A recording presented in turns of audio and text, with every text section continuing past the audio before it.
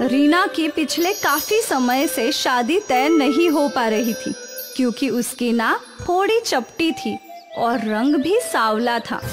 रीना को पंद्रह से ज़्यादा लड़के रिजेक्ट कर चुके थे। रीना लड़कों को अपनी शक्ल दिखा दिखा कर परेशान हो चुकी थी। बेटी, आज एक और लड़का तुम्हें देखने आ रहा है। ब्यूटी पार्लर चली जाओ और अपनी आईब्रो बनवाओ। लौटते समय पंडित जी की दुकान से बेकरी वाले बिस्कुट और पनीर भी लेती आना। लड़के वाले बहुत दूर से आ रहे हैं। बारह एक तक पहुँच जाएँगे। पिताजी, मैं ब्यूटी पार्लर नहीं जाऊँगी। मैं जैसी हूँ, वैसा ही मुझे कोई पसंद करता है तो ठीक है। मेकअप कराकर मैं थक चुकी हूँ। चटपटिया तू जैसा है, वैसा तुझे कोई पसंद नहीं करने वाला। सुनते हो जी? बालों से पकड़कर इसे खींचते हुए ब्यूटी पार्लर लेकर जाओ और इसका फेशियल वगैरह कराओ, वरना ये महारानी हमारे सिर पर ही बैठी रहेगी। कोई काना भी इसे पसंद नहीं करेगा। बालों पर तो ऐसे ध्यान देती है जैसे विश्व सुंदरी का खिताब मिलने वाला हो। पापा, मम्मी का मुँह बंद करवा लो, वरना मैं कुएँ में जाकर कूद जाऊँगी। लक्ष्मी, तू इतना क्यों बोलती है? मुझे पूरा विश्वास है कि कोई ना कोई लड़का हमारी बेटी को ज़रूर पसंद कर लेगा। बस हमें थोड़ा धैर्य रखना होगा। भगवान ने सभी के लिए जोड़ी बनाई है। तो वो हमारी लड़की को अकेला कैसे रख सकता है? पिछले कुछ समय से रीना ने अपने बालों पर बहुत ध्यान दिया था। इस बार लड़के ने रीना के बालों की सुंदरता देखकर उसे पसंद कर लिया। लड़के ने रीना से कहा कि वह एक सप्ताह बाद दोबारा उससे मिलने आएगा। रीना बहुत ही खुश थी। आखिर इतने दिनों बाद उसकी शादी तय हो गई। मम्मी मैं कल आकांक्षा के गाँव जाऊँगी। बहुत दिन हुए मैं उसे मिली नहीं हूँ। कल कहीं मत जा। कल मेरे साथ बाज़ार चलना है तुझे। कुछ कपड़े दिलाऊँगी। नहीं कपड़े लेने परसों चलेंगे। अगले दिन रीना खुशखबरी देने अपने सहेली के घर की ओर चल पड़ी। जो पड़ोस के गाँव में रहती थी। पड़ोस के गाँव जाते समय रास्ते में एक बहुत विशाल पीपल का पेड़ था। उस पेड़ पर एक पुरानी गंजी चुड़ैल रहती थी, जो लड़कियों के बाल काट लिया करती थी। रीना जब पेड़ के नीचे से गुजर रही थी, तब चुड़ैल ने उसे देख लिया। इस लड़की के बाल तो बहुत खूबसूरत है। ऐसे बाल सिर्फ़ मेरे पास होने चाहिए। लेकिन मैं सूरज की रोशनी में नीचे नहीं जा सकती। मुझे अंधेरा होने का इंतज़ार करना होगा। ये लड़की लौट के तो आएगी ही तब मैं इसके बाल नोच लूँगी।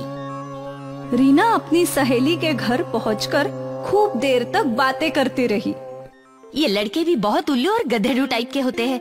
इतने दिन से कोई लड़का मुझे पसंद ही नहीं कर रहा था और अब अचानक एक लड़का मेरे बालों पर मर गया है। लड़के चाहे बिल्कुल टकलू हो लेकिन लड़की इन्हें लंबे और सुंदर बालों वाली ही चाहिए। हर लड़का चाहता है कि उसकी पत्नी की जुल्फे फ़िल्मों की हीरोइन की जुल्फों की तरह होनी चाहिए। शादी के बाद जब तू पहली बार मायके आए तो मेरे घर भी ज़रूर आना। अगले साल मेरी भी शादी तय होगी। तुझे ही मुझे सिखाना पड़ेगा कि ससुराल में कैसे रहा जाता है। अरे, ससुराल में रहना सीखने के लिए क्या है? थोड़े दिन बस शर्म लिहाज से रहो उसके बाद कुछ भी करो। शुरुआत के कुछ महीनों की परेशानी होती है बस। कुछ महीनों के बाद क्या बेशरम बन सकते हैं? शादी के बाद भी बेशरम नहीं बनेगी तो क्या बुढ़ापे में बेशरम बनेगी? अंधेरा होने वाला है अब मुझे चलना चाहिए। अरे बातों बातों में मैं चाय बनाना तो भूल ही गई। मेरे पापा काजू वाली नमकीन लेकर आए हैं। चाय के साथ खाएगी तो बार बार मांगेगी। मैं अभी चाय बना कर लाती हूँ। रीना चाय पीने के बाद ही अपनी सहेली के घर से वापस चली। अंधेरा हो चुका था। चुड़ैल घाट लगाई बैठी थी। रीना जब पेड़ के नीचे से गुजर रही थी, तभी चुड़ैल उसके ऊपर झपट पड़ी और उसके बाल काट कर ले गई। अरे अरे मेरे बाल, चुड़ैल मेरे बाल ले गई। कोई मेरी मदद करो समय सड़क पर आसपास कोई नहीं था जो रीना की मदद करता। रीना रोते हुए अपने घर पहुँची। पिताजी, एक चुड़ैल मेरे बाल काट लिए। उस लड़के ने मेरी बालों की वजह से ही तो मुझे पसंद किया था। सात दिन बाद वो मुझसे मिलने आएगा। अब मैं उसे क्या मुँह दिखाऊँगी? मैंने तुझसे मना किया था कि मत जा, लेकिन तू मुझे अपना दुश्मन समझती है। अब तेरी शादी फिर टूट जाएगी। बहुत खुशी में उतावली होकर अपनी सहेली को खुशखबरी देने गई थी। अब पता लगा उतावलेपन का नतीजा अब बैठकर रोती रहे। मुझे माफ़ करना बेटी। मैंने उस कुंजी चुड़ैल के बारे में सुना था। लेकिन मैं कल तुम्हें बताना भूल गया। लेकिन तुम चिंता मत करो। पीतमपुर गाँव में मेरा एक तांत्रिक दोस्त रहता है। रीना के पिता अपने तांत्रिक दोस्त के पास गए। चपाला मेरी मदद करो। बड़ी मुश्किल से मेरी बेटी का रिश्ता तय हुआ है।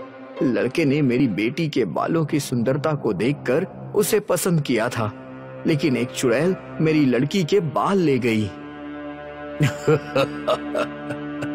ज़िंदगी में कितनी अजीब अजीब समस्याएँ आ जाती हैं। लेकिन तुम घबराओ नहीं चमनलाल।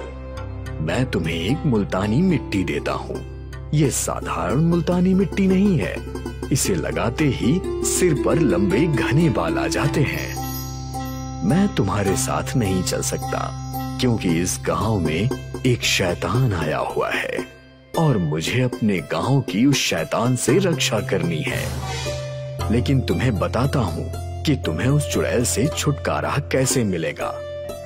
तांत्रिक ने रीना के पिता, यानी चमनलाल के कान में कुछ बताया, फिर चमनलाल अपने गाँव लौट आए। चमनलाल ने पूरे गाँव में खबर की कि जो भी लंबे और घने बाल चाहता हो, वो रात को 12 बजे पीपल के पेड़ के पास आ जाए। रीना सहित गाँव की कई लड़कियाँ पीपल के पेड़ के पास पहुँच गई। चमनलाल ने उन्हें जादुई मुल्तानी मिट्टी बांटनी शुरू कर दी। मिट्टी लगाते ही सारी लड़कियों के लंबे घने बाल आ गए। चुड़ैल पेड़ पर बैठकर ये सब देख रही थी। ये मुल्तानी मिट्टी मेरे पास होनी चाहिए। चुड़ैल पेड़ से नीचे उतर आई और चमनलाल से बोली सुन बुड्ढे ये सारी मुल्तानी मिट्टी मुझे दे दे और यहाँ से फूट ले। चमनलाल ने सारी मिट्टी चुड़ैल को दे दी। चुड़ैल ने जैसे ही मिट्टी अपने सिर पर लगाई, उसका सिर जलने लगा और कुछ ही देर में चुड़ैल जलकर भस्म हो गई।